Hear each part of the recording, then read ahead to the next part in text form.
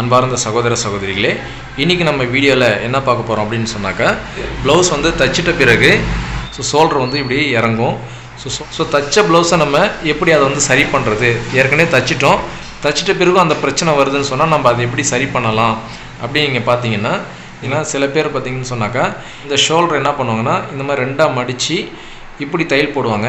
இப்படி வந்து ஆரம்பித்து இதில் வந்து தையல் போடுவாங்க. இப்படி தையல் போடுவாங்க.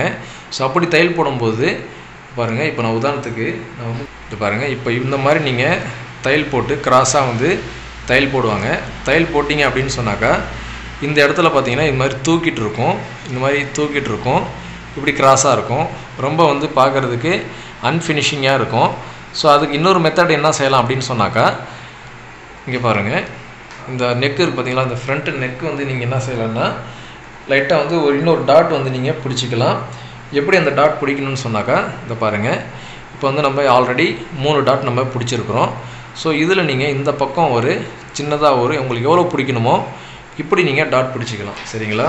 இந்த வாட்டத்தில் உங்களுக்கு எவ்வளோ பிடிக்கணுமோ கிராஸாக இந்த மாதிரி நீங்கள் பிடிச்சிக்கலாம். இது இப்படி நீங்கள் பிடிச்சிட்டிங்கன்னு சொன்னாக்கா ஓரளவுக்கு நீங்கள் வந்துட்டு அதை வந்து சரி பண்ணிக்கலாம். நெக் வந்து டைட்னஸ் ஆகிடும் ஸோ இந்த மாதிரி நீங்கள் கொஞ்சம் இப்படி ஒரு டாட் போட்டுட்டிங்கன்னு சொன்னால் உங்களுக்கு வந்து நாலு டாட் போட்ட மாதிரி இருக்கும். நெக் வந்து மேலே ஒரு தையல் போட்டு நீங்கள் கவர் பண்ணிடலாம். அதே மாதிரி இங்கேயும் நீங்கள் டாட் போட்டுக்கலாம். இங்கேயும் நீங்கள் டாட் போட்டுட்டிங்கன்னு சொன்னாக்கா உங்களுக்கு வந்து இந்த மாதிரி நெக் வந்து ஷார்ட் பண்ணிவிட்டு உங்களுக்கு வந்து அந்த லூஸ் கொடுக்குறத நீங்கள் வந்து சரி பண்ணிக்கலாம்.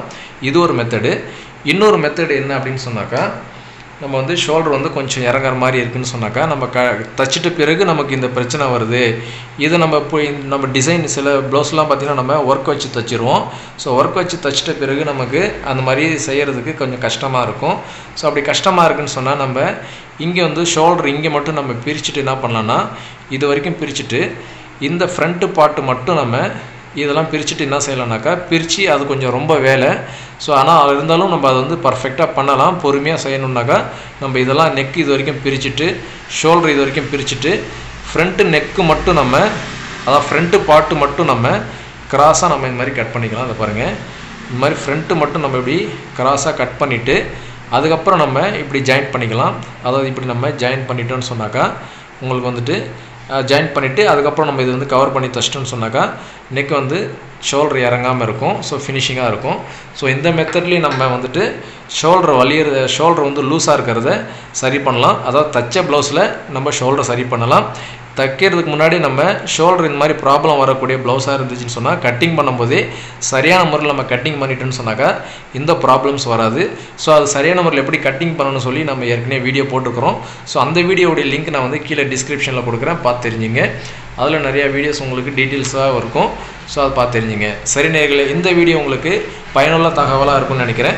இந்த வீடியோ பிடிச்சிருந்தால் லைக் பண்ணுங்கள் ஷேர் பண்ணுங்கள் நம்ம சேனலை இது வரைக்கும் நீங்கள் சப்ஸ்கிரைப் பண்ணலைன்னா சப்ஸ்கிரைப் பண்ணிங்க. கூடவே பக்கத்தில் இருக்கக்கூடிய பெல்லைக்கனை ப்ரெஸ் பண்ணி ஆளில் கொடுத்துட்டிங்கன்னா நான் போடுற வீடியோலாம் உங்களுக்கு நோட்டிஃபிகேஷனாக வரும்.